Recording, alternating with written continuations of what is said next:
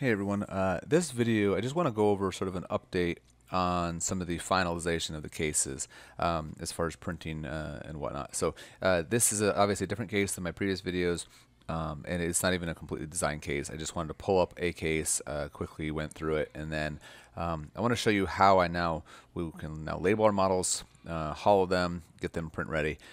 So anyway, um, there's been a lot of updates and this is where most of them you know uh, take place.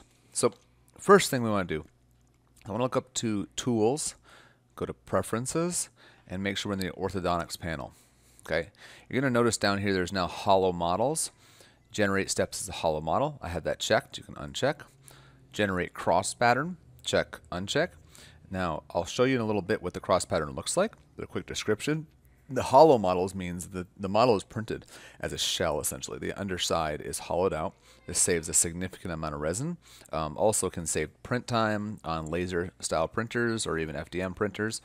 Uh, the cross pattern creates some structural integrity to that hollowed out area, um, giving it some reinforcement. You could say it wastes resin, but it also makes it stronger. Makes it stronger, it's less likely to break, but also if you decide to mount these models on an articulator, uh, this cross arch will uh, lock onto the stone more easily.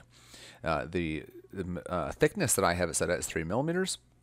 Um, I've seen people go as low as 2 millimeters, 2.5 millimeters, and then as high as about 3.2 or 3.5. It depends on the resin you're using. Some resins uh, print faster, but are may, maybe not quite as strong, so you might want to up it to the 3.2.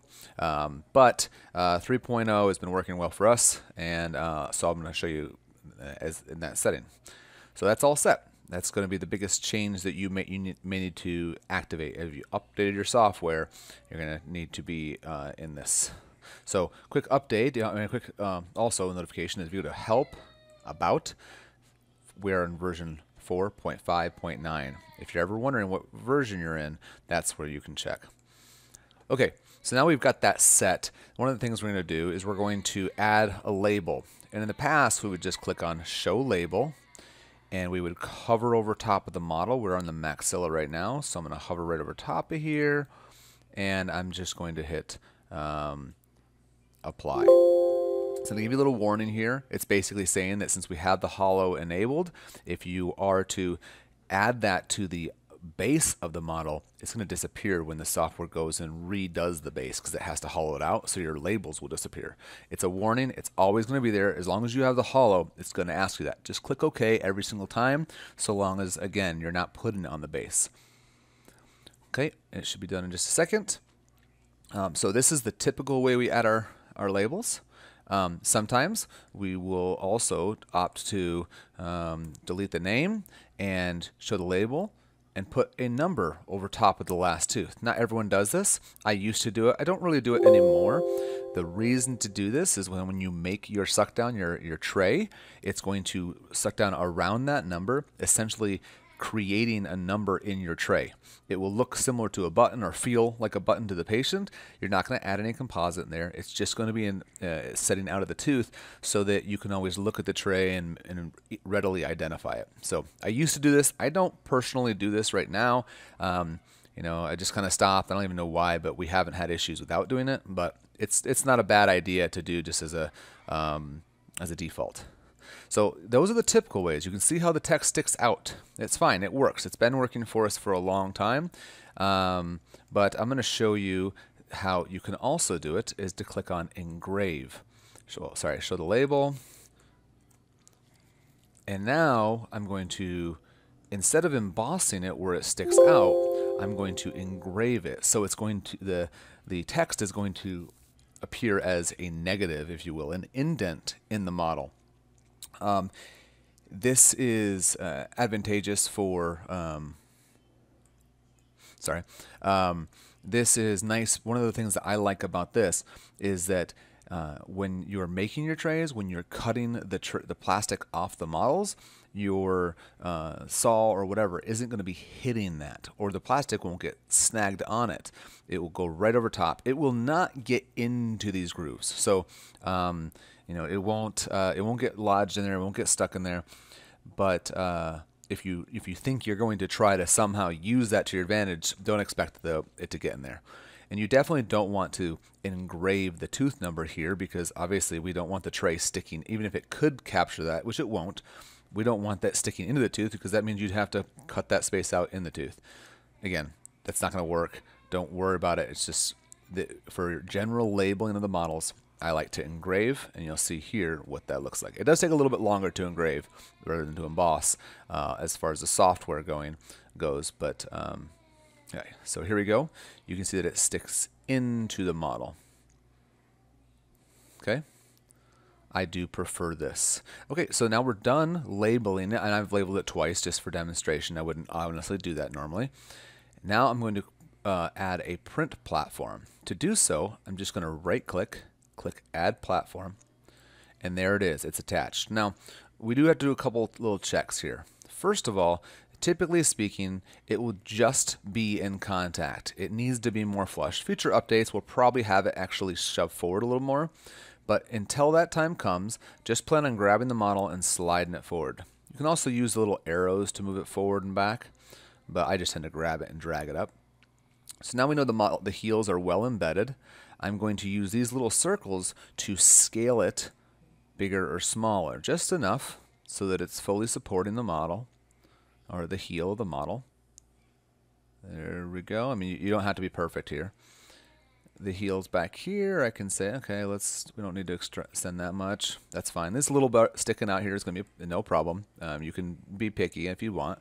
If you need to, you can also grab this and make it taller it allows you to embed more of the model in it if you have really uneven heels of your models. So uh, if you've done a good job and had a good broad platform of the heels, you're fine. But if you need to, that is a way to give yourself a thicker platform for um, to, to compensate for that. I'm going to turn off the opposing. That's not helping us. And then lastly, I'm just going to extrude this back. Okay, or, or sorry, bring it back in. So this is all good. So one thing to bear in mind, and this is something that you should actually kind of consider at the very beginning. After you've embedded it, the first thing you should do after that is actually to check whether you need to angle the platform back or or whatnot. Usually mean back. Okay, I'm going to hit Control Z.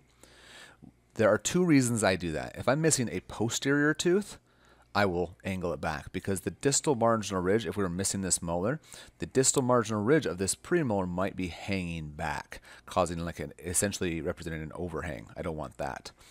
Or if we go a little bit back on this case, you'll see that he's actually got a central incisor that's in crossbite and it's quite lingual. So in that case, this surface might be almost leaning back. If it is, then I might want to take this and tilt it back to compensate a bit. Okay, some people will say 20 degrees or whatever degrees. I don't think there is a set number of degrees you need because it just depends on the case. You tip it back until you know you don't have an overhang. Um, so I'm going to do that. And now, because I did that, these are sticking out a little bit. Probably not a big deal, but I can go ahead and get rid of that. Truth is, is I just don't want to, I want to make sure that I'm not sticking out past this part for conserving resin. But anyway, so let's go ahead and export these and look what, see what they look like in the print plant, the printing software. I'm going to go ahead and click export. Just going to make a new folder, uh, models test. We're just going to say hollow models. And I'm going to go ahead and pause this recording. Okay, so now it is done ex exporting. I, I, just paused the video because I won't, you know, it does take a little while, and no reason for you to have to sit there and watch that. So I'm going to go ahead and open up Rayware, uh, which is um, the software for the Moonray and uh, whatnot, the SprintRay printers.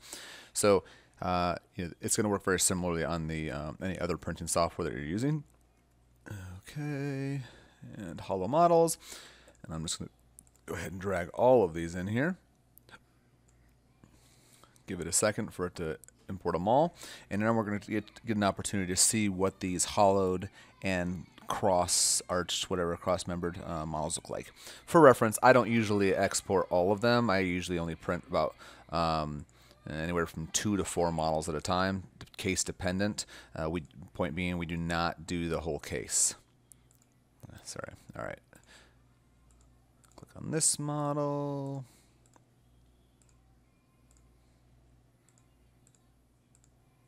And all I'm doing is I'm clicking on the base to uh, make it perpendicular or make it snap to the build plate.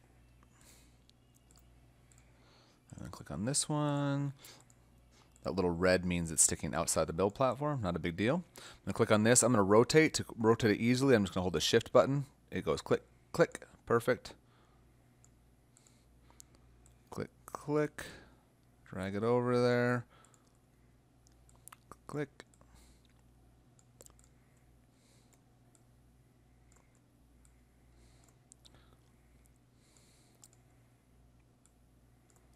All right. Oops.